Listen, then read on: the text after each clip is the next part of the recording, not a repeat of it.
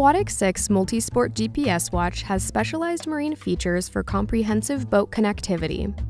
In this video, we'll help you connect your watch to a compatible chart plotter to make the most of your time on the water. First, make sure your watch is within a 3 meter range of your chart plotter. From the watch screen, select Start. Click through to Boat Data, and then press Start again. If you have already connected your Quatix to a chart plotter, but want to connect to a different one, hold up and select Pair New. The rest of the steps will be the same whether this is the first chart plotter you've paired or a new one. On the chart plotter, select Communications, then Wireless Device.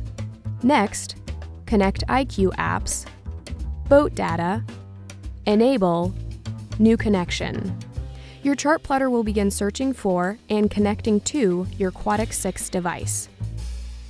After the devices are paired, they will connect automatically when they're both turned on and within range. Now that your watch recognizes your chart plotter, you can stream data including speed, depth, temperature, and wind right to your watch. You can also control your boat from your wrist with autopilot.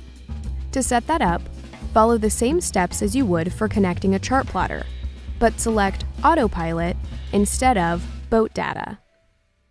After you pair, you'll have access to autopilot capabilities. To learn more about Quatix 6, go to garmin.com.